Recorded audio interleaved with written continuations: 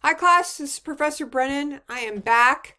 Um, if you'll notice, I'm actually in a different space. I had to move because um, we're doing, my partner's doing some recording in another room. And so uh, I want to do this so we don't get interrupted with any noise. So here I am, small group communication. We are on part three of the lecture on diversity within the small group we left off, we just talked about cultural diversity within the group and understanding all those components. In addition to the obvious ones that we always talk about as race and ethnicity, sexual orientation, gender, but another other ways to think about it, we talked about collectivism versus individualism, uh, low context versus high context, and now we're going to get right into uh, tensions and roles within the small group. So let me just find, there we are. I'm going to take you straight to the PowerPoint. There we are, tensions and roles in the small group. And uh, we're going to talk about, so let's think about what I mean by that before I even get into it. So tensions and roles in this small group, you're going to have different roles. And the roles are going to change over time. And it doesn't mean each one of you takes a role and that's the end of it. Like it's not like daughter, son, you're always the daughter and son. It doesn't work that way in the small group it can change. Someone might take a certain role and then it might change. The other person might take over that role. Or there might be more than one person in a particular role. Okay, so roles in the small group are changeable, they aren't fixed. Not like in a family where the mother who has children is always going to be the mother. She's always going to be the biological mother. Those that role and then whether she plays that role is going to be up to her. Okay? Or the father whether he's a biological father, whether he plays the role of father, is up to him. And more than pe- more than one person can play that role, right, of mother or father to a child. So keeping all that in mind. So we're going to talk about tensions first. So tensions happen are really based upon when we talk about tensions, it's like the like a source of conflict or a source of discomfort. Can be a source of conflict, but a source of discomfort, a tension that you have within the small group between group members.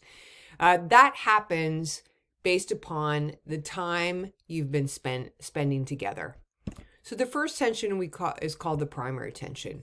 And that is that anxiety last week when I put you into new groups, that anxiety you feel when you're put in a new group, right?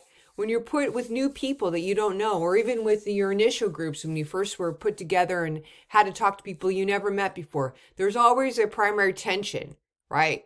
Who are these people who am I talking to? Will they like me? Will they not like me? Will I like them? That set of primary tension you feel at initially meeting people. Totally normal. Uh, group members can appear overly polite. So it means that you're on your best behavior, right? Have you ever like, you know, gone out on your first date? Everyone's always in their best behavior and they're especially on their first date, if not in their first five dates or first three dates.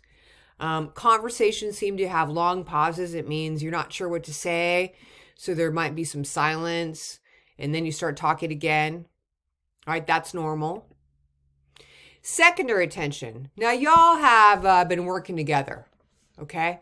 Again, we'll talk about uh, the roles. One of the roles is the task role, but you all have been together a little bit. So that that tension happens when you start to get into tasks and you start to have some a little clashing between group members. And it's over task.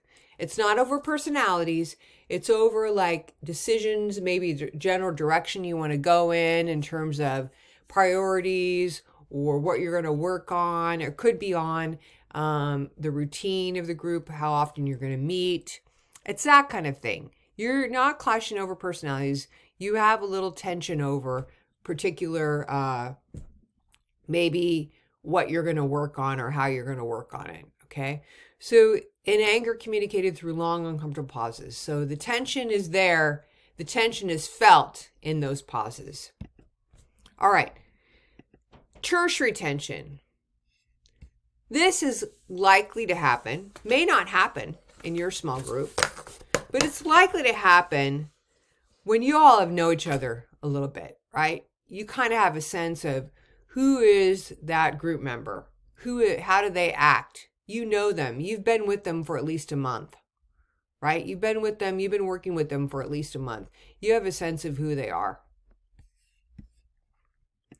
And tertiary tension is resulting from power and status issues related to the group. So, what naturally happens in a small group is someone kind of rises to the occasion of leader or acts kind of like the leader of the group, or people look to that person. We'll talk about leadership later on in the semester.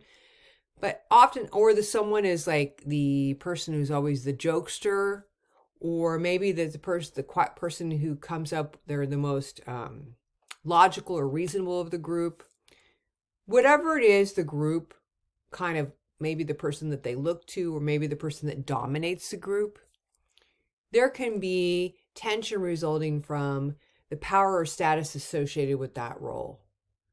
And maybe someone's tired of listening to someone who's always calling the shots.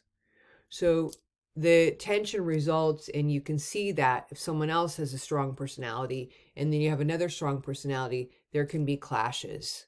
But that strong personality has to come out and usually that happens over time. It's not usually immediate.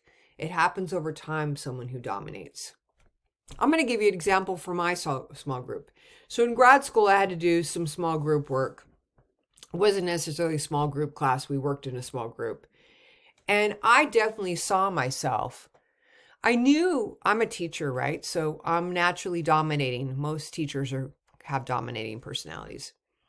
So I knew that about myself, but I didn't know that I was so unwilling. I I was also impatient. That's what I discovered. That I was getting impatient with people that I thought they wanted to talk something over. Maybe I was really tax task oriented too. They wanted to talk over a decision where I felt we had come to a good decision. I wanted to move on and get get to it and get it over with. And they wanted to keep talking about it, which I felt like it was a waste of time. That's literally. And I got I was I got so irritated that I actually walked out of the group. I can remember we were meeting in an office and I walked out of the office and I needed to chill out. And I found myself and I was butting heads with a particular person in that group. And I think that I felt like I had maybe I felt like the power and status in terms of like directing put having a lot of influence over the direction of the group and she was butting heads with me probably because she was sick of me trying to influence. Um, i don't know we never really talked about it. We're friends now but that's what happens. Like it can just happen. It doesn't mean you're going to lose friendship or lose respect. It just happens right? It's no, it's natural.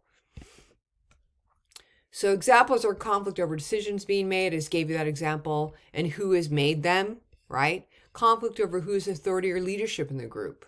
That's tertiary tension, right? So it becomes personal. Tertiary tension is related to personality. It is not, it can be, uh, can start as a task, but it becomes related to the personality, not necessarily to the thing itself, but it's about who you're dealing with.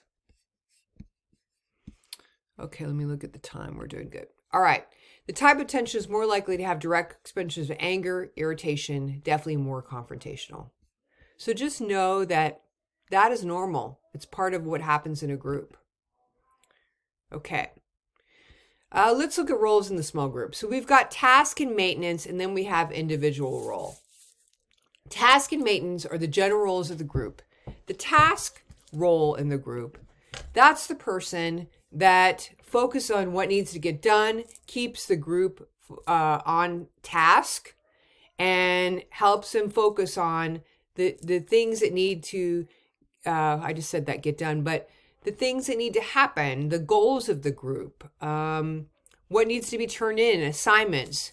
So their behavior, and can be more than one person in the group, their behavior is exemplified by they, they're good at initiating and orientating. They're good at information giving. They're not afraid to give their opinions. They're really good at clarifying, like saying, look at this assignment, let's clarify what exactly we need to do. They're good at elaborating and explaining. And it's part of summarizing, like saying to the group, okay, so this week we're going to do this. Okay, so it's that's the kind of behaviors that are task oriented. Now, someone who's maintenance oriented, there are they're the harmonizers of the group. Also super important. You need people to maintain the group relationships. They do this by establishing the norms, by talking about, you know, how we're going to talk with each other, how we respect each other, being on time, whatever group norms that you all come up with. Uh, they support other people, right? They'll give applause when someone does something good. They try to create harmony in the group. Uh, let's say there's maybe there's some tension going on. Maybe they're the mediator, right? They try to like get everyone to get along. They're tension relieving. They could be dramatizing. So maybe they're like their personality, they are really good at expressing themselves. So people feel like they're more personal or they're more social than the person who's just focused on task. Um, and they're able to show solidarity. They're able to show like we're in this together. We can do this. They're like the cheerleader. So you can be both of those, but oftentimes because of people's personalities, they end up ta- taking one or the other. One can be more task oriented, and one more might be more maintenance oriented. All right, we're going to go into individual role and then we're going to finish up and we'll go to part four in a minute. So, individual role of the group. I just want you to think about that for a minute. Do you think individual role is going to be a good role to have in the group? Since we're doing small group communication, think about it. Individual role is generally not helpful. Task and maintenance are, are their energy is focused toward the group whether it's getting something done or they're maintaining relationships. The individual role is a more self centered role. Now, it might have some positive things about it, but over time, it does not help things. Now, I've given you a couple examples. It can be the person who's the jokester, it can be the person who's always dominating and has to dominate the conversation, it can be the complainer Okay. The person is like, oh my God, my life is terrible. Or it can be the person who's always in chaos, the drama queen. So, group members behave in ways that are self centered. So, group members behave in ways that focus on self, bring all the attention themselves, which then ends up distracting the group from their goals by focusing the attention on themselves right? So it's the person that comes to group late and says, Oh my God, my car just blew up, or I just ran out of gas, or their life is always in chaos because they're completely centered, focused on self. It happens, right? We'll talk about how to deal deal with that. But you really, if you're that person, you really want to look at that and how that's not helping. You really, this is a time for you to take a collectivist attitude toward your small group. And so this can be characterized, how do we know it? By what we call withdrawing. When we say blocking, it just means keeping people from getting things done by trying to get the attention on you. It can be uh, playing, acting helpless, status seeking, right? Looking for, trying to get all the attention on themselves, recognition seeking. So you got the idea. How that all detracts from the group and getting the group getting keeping the group harmonized and also getting the group on task to get your assignment done or to get your project done. So we are going to move into next we're going to talk about learning styles that's going to be part 4 and we'll move into that in a minute and I'll be back and I'll see you soon.